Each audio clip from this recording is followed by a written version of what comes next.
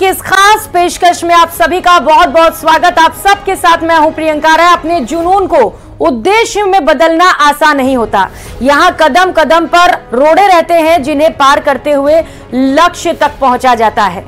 बात इसीलिए क्योंकि प्रधानमंत्री नरेंद्र मोदी 22 जनवरी को जिस राम मंदिर का उद्घाटन करने जा रहे हैं, उसके पीछे आस्था भक्ति की पाँच दशक लंबी यात्रा रही है। पाँच दशक की कड़ी साधना आराधना रही है। व्यक्ति विशेष में आज देखिए पीएम मोदी की राम साधना।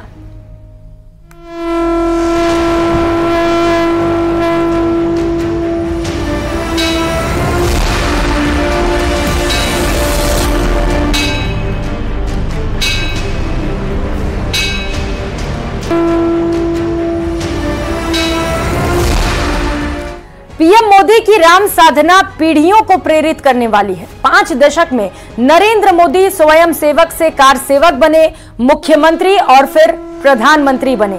लेकिन अयोध्या में भव्य और दिव्य राम मंदिर का लक्ष्य क्षण भर के लिए भी आँखों से ओझल नहीं हुआ।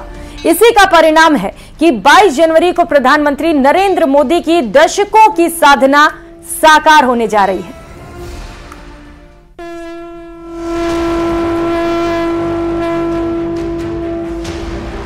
सियावर रामचंद्र की सियावर रामचंद्र की सियावर रामचंद्र की भारत माता की भारत माता की भारत माता की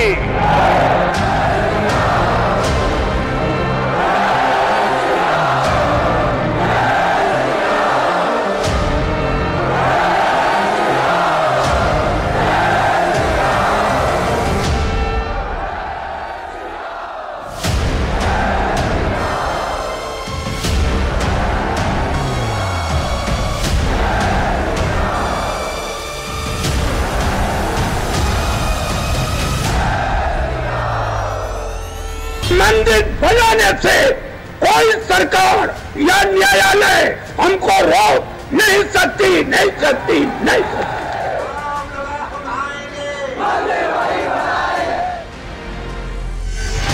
20 साल पहले 1 अगस्त 2003 को, जब राम मंदिर आंदोलन के सूत्रधार महंत रामचंद्र परमहंस दास उनके साकेत धाम पधारने के बाद, पूर्व प्रधानमंत्री स्वर्गीय अटल बिहारी वाजपेयी ने एक भविष्यवाणी की थी।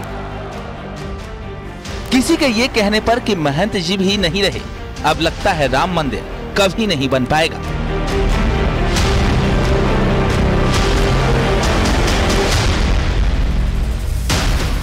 तब अटल जी ने कहा कि ऐसा नहीं है, राम मंदिर ज़रूर बनेगा।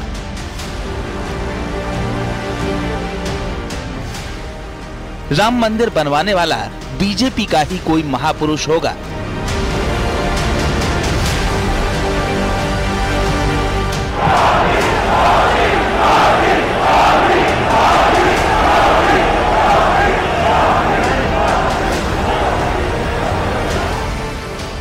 बिहारी वाजपेयी का ये पहला भाषण था।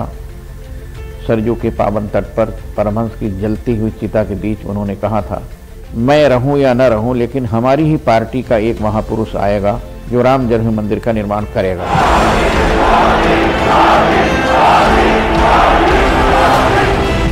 पूर्व पीएम अटल जी की भविष्यवाणी सच साबित हुई है। प्रभु श्री राम का धाम बनकर तैयार है।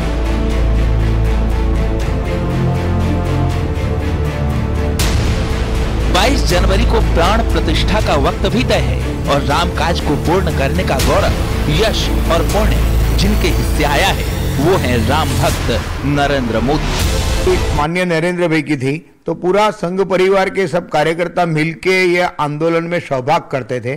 तो उनका प्रमुख यह था कि गुजरात के प्रत्येक गाँव में और समाज के विविध वर्ग को साथ लाने के लिए अलग अलग संप्रदाय के साधु संतों को मिलना सभी संप्रदाय के प्रमुख लोगों को मिलना, सभी समाज के वडीलों को मिलना, ऐसा एक अभियान चला था। राम काज पूरा हो रहा है। संत, महंत, राम भक्तों से लेकर आम इंसान तक हर कोई प्रभु की भक्ति और रामधुन की गूंज में डूबा है। अयोध्या नगरी कुछ इस कदर भव्य और दिव्य स्वरूप हासिल कर चुकी है कि एहसास होता है कि शायद त्रेता युग में भी अवधपुरी का गौरव कुछ ऐसा ही होगा।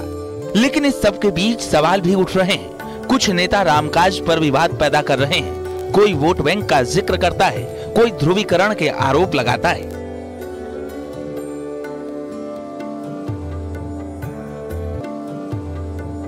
अब सवाल यह है कि क्या ये ध्रुवीकरण है? क्या ये वोट बैंक की राजनीति है या फिर ये एक शक्ति साधना है? तीस साल पहले लिए संकल्प की शक्ति। उस संकल्प की शक्ति साधना जो तीस साल पहले नरेंद्र मोदी ने लिया था।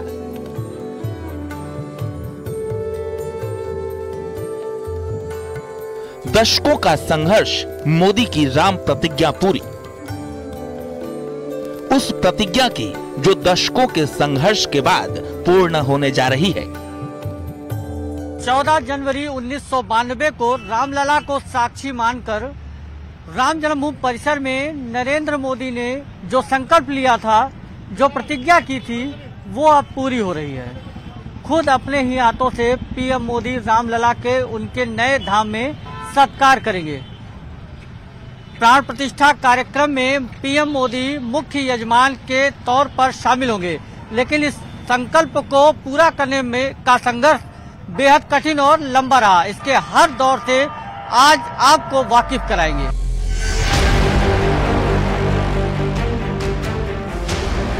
सियावर रामचंद्र की सियावर रामचंद्र की सियावर रामचंद्र की। भारत माता की। भारत माता की। भारत माता की।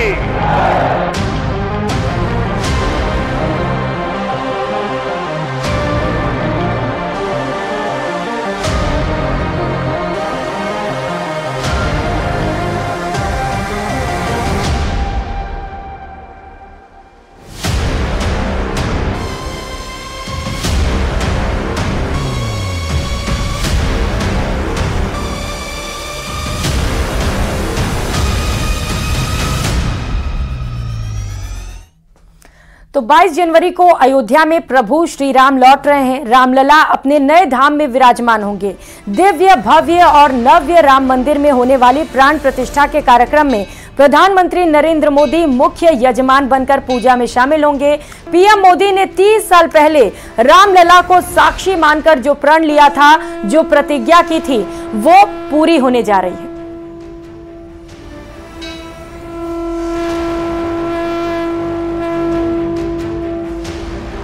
सियावर रामचंद्र की सियावर रामचंद्र की सियावर रामचंद्र की भारत माता की भारत माता की भारत माता की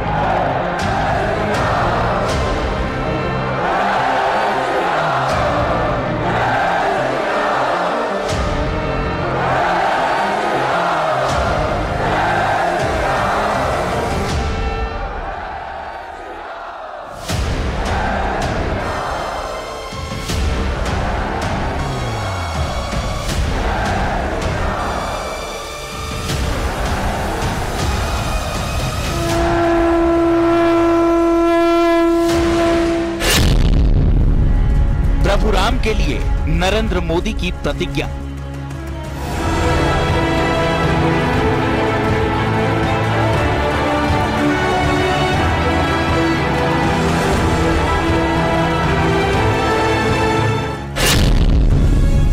जब गांव-गांव जाकर पीएम मोदी ने जगाई राम की अलख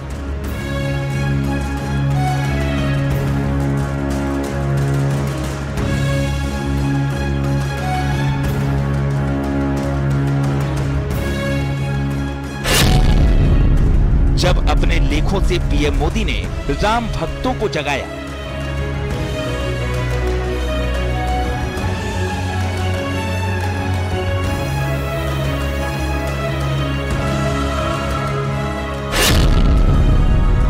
राम काज का संकल्प 30 बरस की राम साधना पूरी।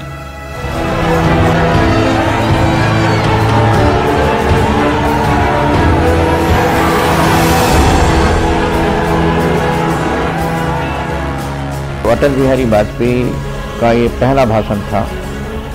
सरजू के पावन तट पर परमहंस की जलती हुई चिता के बीच उन्होंने कहा था, मैं रहूँ या न रहूँ, लेकिन हमारी ही पार्टी का एक महापुरुष आएगा, जो राम जन्म मंदिर का निर्माण करेगा।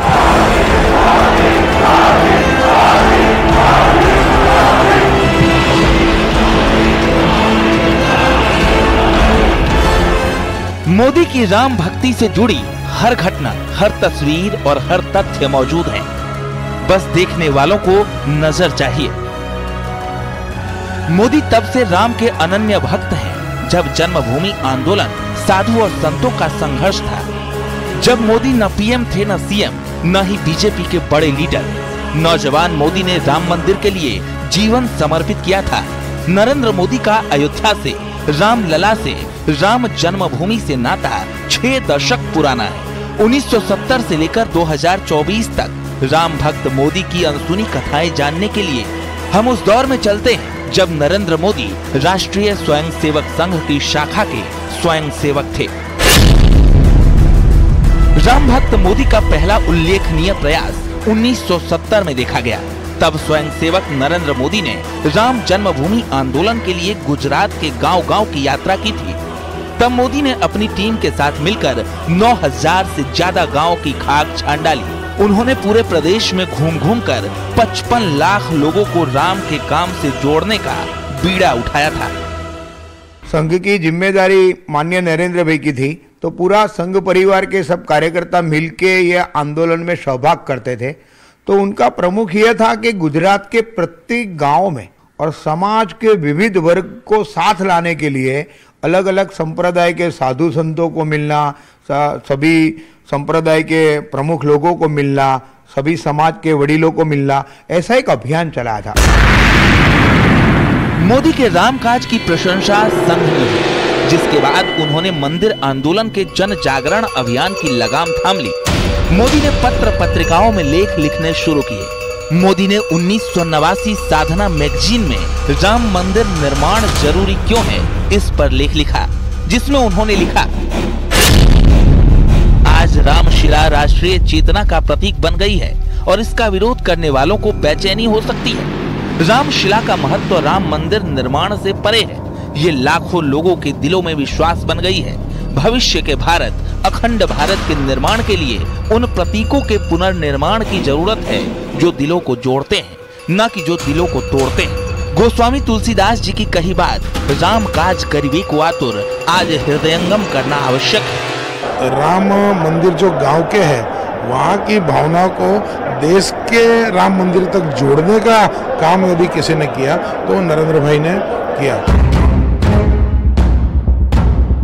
राम मंदिर निर्माण नरेंद्र मोदी के लिए कभी राज का काज नहीं रहा। उन्होंने अपनी कथनी और करनी से ये चरितार्थ किया कि राम मंदिर निर्माण राम का काम था।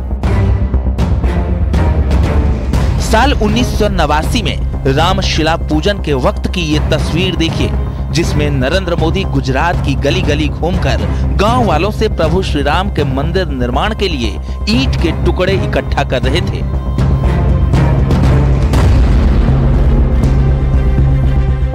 तन समर्पित, मन समर्पित, और यह जीवन समर्पित चाहते हैं। देश की धरती तुझे कुछ और भी दो। तो ऐसी ही शपथ तो लेते रहे आदरणीय नरेंद्र भाई मोदी। नरेंद्र मोदी ने सभी माध्यमों से देश के माहौल को राम के प्रति अगाध श्रद्धा से भरने का मिशन चला रखा था। अपने लेखों से भाषण से यात्राओं से वो नया जोश नया एहसास के साथ युवा पीढ़ी में आस्था की उमंग जगा रहे थे। इसी कड़ी में मोदी का एक भाषण बेहद पॉपुलर हुआ। तब मोदी के भाषण की हज़ारों कैसेट बनाकर बांटी गई थी ताकि लोगों तक इस संदेश को पहुँचाया जा सके। जन्मभूमि मंदिर फरज राम जन्मभूमि बनશે राम जन्म स्थापन राम जन्मभूमि मंदिर बनी दुनिया की कोई ताकत राम मंदिर बनता अटका नहीं राम मंदिर जन्मभूमि स्थल पर ही बनाया जाएगा जहाँ राम का जन्म हुआ था। दुनिया की कोई ताकत राम मंदिर बनने से नहीं रोक सकती। राम जन्मभूमि को लेकर उनके भाषण होते थे उस समय तो वो इतने रिसर्च बेस्ड भाषण होते थे। कि कहाँ से वो सब तथ्य लेकर आते थे, कहाँ से वो सारा मटेरियल लाते होंगे। पर इतना ऑथेंटिक मटेरियल वो सारा मटेरियल जब उनके भाषण में होता था, और किस प्रकार से तुष्टिकरण की राजनीति से देश का नुकसान हो रहा है, और किस प्रकार से सांस्कृतिक राष्ट्रवाद का उत्थान इस देश के लिए ज़रूरी है तो रामजन्मी आंदोलन सांस्कृतिक राष्ट्रवाद का उत्थान के रूप में उन्होंने कार्यकर्ताओं के मन में अपने भाषणों से उतारा। एक तरफ़ नरेंद्र मोदी अपने स्तर पर रामकाज का बीड़ा उठाए हुए थे, तभी इस बीच एक और दौर आया 25 सितंबर 1990 का दिन। सोमनाथ से अयोध्या तक रथ यात्रा की शुरुआत हुई। लाल कृष्ण आडवाणी के रथ के सारथी बने नरेंद्र मोदी। रथ यात्रा गुजरात के 600 गाँवों से होकर गुजरी। रामकाज की प्रतिज्ञा के साथ निकले उस रथ पर आडवाणी के साथ नरेंद्र मोदी भी सवार रहे थे।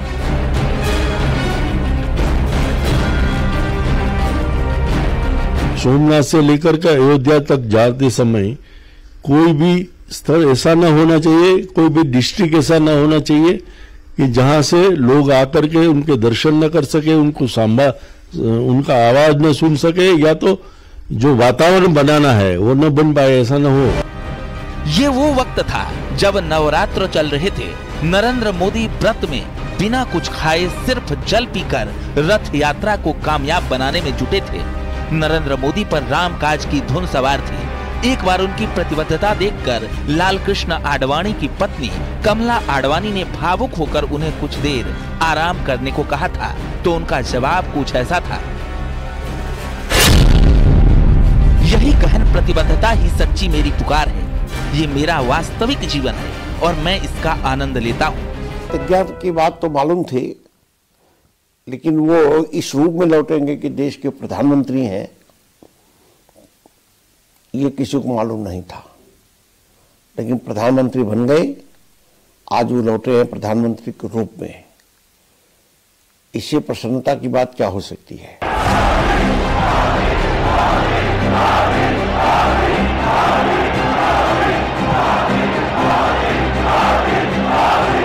रामकाज में नरेंद्र मोदी को कितना आनंद आता था। उसकी एक झलक इन तस्वीरों में साफ़ दिखती है। ये उन्नीस सौ इक्यानवे में दिल्ली के बोट क्लब में विश्व हिंदू परिषद का आयोजन था। नरेंद्र मोदी यहाँ एक वॉलेंटियर बन, राम के काम में आए थे। जब मोदी साधु संतों से आशीर्वाद ले रहे थे, तब उन्होंने साध्वी रितंभरा से बातें की थी।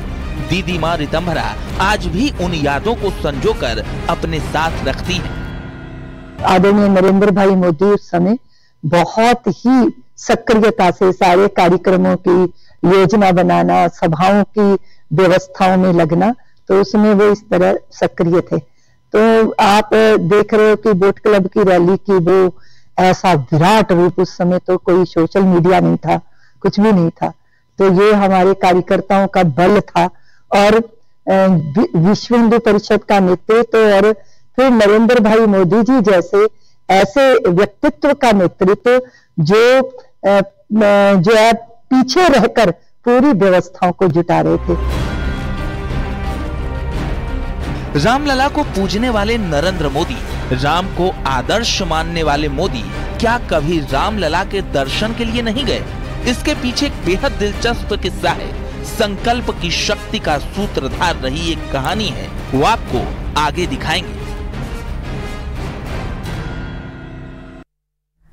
टेंट में विराजमान रामलला के दर्शन के वक्त नरेंद्र मोदी ने एक प्रतिज्ञा ली थी कि वो जन्मभूमि पर तब लौटेंगे जब मंदिर निर्माण का रास्ता साफ़ हो जाएगा। नरेंद्र मोदी तीन दशक के इंतज़ार के बाद अयोध्या वापस लौटे। उन्होंने ही रामलला के भव्य मंदिर की बुनियाद रखी। यही राम भक्त मोदी 22 जनवरी को रामलला के प्राण प्रतिष्ठा के पुण्य के भी भागी होंगे और पूरी दुनिया एक बार फिर प्रभु श्री राम को अवधपुरी लौटते हुए देखेगी और इतिहास के इन शुभ पलों को संजो लेगी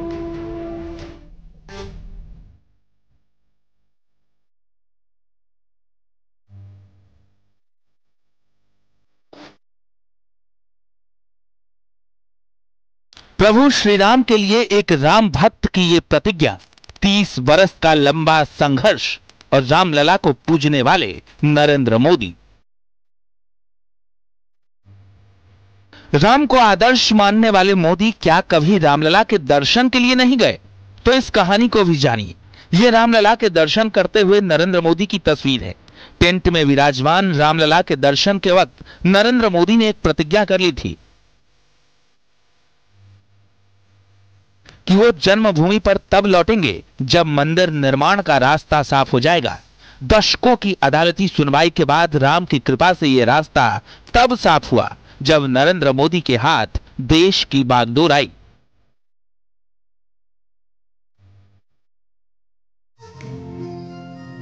नरेंद्र मोदी तीन दशक के इंतज़ार के बाद अयोध्या वापस लौटे। उन्होंने ही रामलला के भव्य मंदिर की बुनियाद रखी।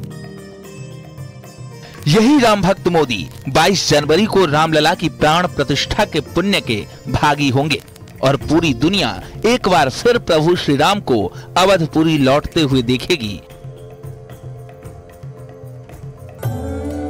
और इतिहास इन शुभ पलों को संजो लेगा क्योंकि पाँच सदियों के इंतज़ार के बाद ये घड़ी आई है। लेकिन क्या सचमुच नरेंद्र मोदी ने रामलला के लिए कोई प्रतिज्ञा ली थी? और ली थी तो वो क्या थी? आज आपको एक ऐसे शख्स की जुबानी ये कहानी सुनाते हैं, जो न सिर्फ़ राम मंदिर आंदोलन के करीब करीब हर पल का साक्षी रहा है, बल्कि उसने इन तस्वीरों को संजोया भी है। दरअसल पीएम मोदी की जिस तस्वीर को आपने देखा, उसे खींचने वाला भी यही शख्स है। बात कर रहे हैं फोटोग्राफर महेंद्र त्रिपाठी की। उन्होंने पीएम मोदी के उस दिन रामलला के भावुक दर्शनों से जुड़ी ये कहानी न्यूज़ एटीन से साझा की है। क्या देख रहे थे बहुत देर तक मैंने देखा कि नरेंद्र मोदी जी कुछ ज़्यादा ही भावुक दिख रहे थे और जो है वो रामलला के जिसे लग रहा कोई वार्ता उनकी हो रही हो। तो मैं उनके तरफ़ भी देखने लगा कि सब लोग दर्शन करके तुरंत चले जाते हैं ये रुके हुए हैं। तो मेरे मन में कुछ आया कि इनसे कुछ सवाल करें कि क्या बातें आपकी रामलला से हो रही है। किया आपने सवाल? फिर मैंने सवाल कर ही लिया। मैंने पूछा कि रामलला जी से आप बहुत देर तक टकटकी लगाए देख रहे थे। मतलब कुछ खास आपने कुछ बातें की है या कोई संकल्प लिया है? तो हम मुस्कुराए उन्होंने कहा ये आपको नहीं बताऊँगा। फिर हमने कहा कि न बताइए। फिर बाहर आए तो फिर हमने और तस्वीर उनकी खींची हाथ में प्रसाद लिए हुए हैं डिब्बे पे खड़े हैं। पीएम नरेंद्र मोदी ने सिर्फ़ राम संकल्प ही पूरा नहीं किया। बल्कि राम की नगरी की सूरत ही बदल डाली। अब अयोध्या अपने दिव्य और भव्य स्वरूप के साथ तकनीक में उन्नत हर सुविधा के लिए जानी जाती है।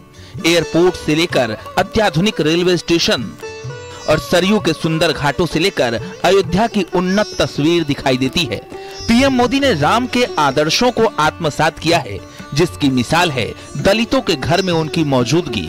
वो अयोध्या में प्रभु राम के काम के लिए आए तो दलित के घर जाकर हाल लिया चाय पी और पूछ भी लिया कोई दिक्कत तो नहीं। तो आपसे बहुत खुश हूँ इतना खुश हूँ आपको इतना बयान नहीं कर सकते हम तो उम्मीद ही नहीं किए थे कि हाँ हमारे घर भगवान। सच में बता रहे चलिए अब तो मकान बन गया आपका। जी। हम्म। तो आपकी जैसी कल्पना थी वैसा बना है। जी जी। हम्म। अपने मन का ही बनाए हैं। अच्छा। कितना मिला आपको? घर बनाए ढाई लाख। ढाई लाख? जी। एक ही किस्त में मिला अलग अलग अलग अलग किस्त अलग अलग किस्त में मिला। पहले पचास आया था तब डेढ़ लाख आया फिर पचास आया। अच्छा। जी। और सीधा बैंक खाते में आ गए? जी। तो किसी को रिश्वत नहीं देनी नहीं हमने किसी को रिश्वत नहीं। किसी को आकर के भाई तुमको मकान देने के पंद्रह हज़ार रुपये मुझे दे दो। नहीं किसी को मैंने नहीं दिया। है एक भी रुपया नहीं दिया। चाय बहुत अच्छी बनाई है। और मैं चाय वाला हूँ तो मुझे पता रहता है कि चाय कैसे बनती है।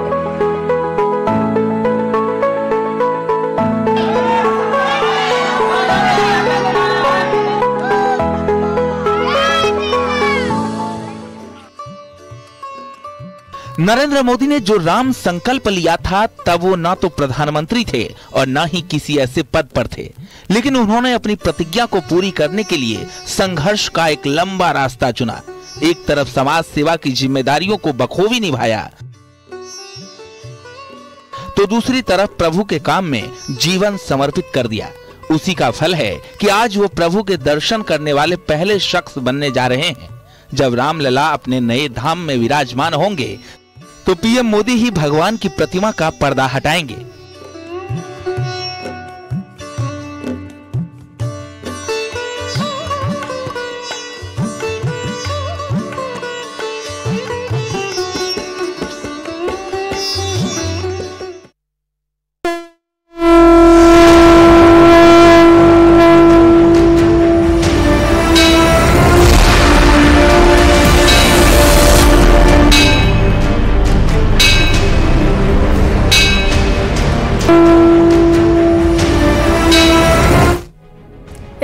पेशकश में फ़िलहाल इतना ही। नमस्कार।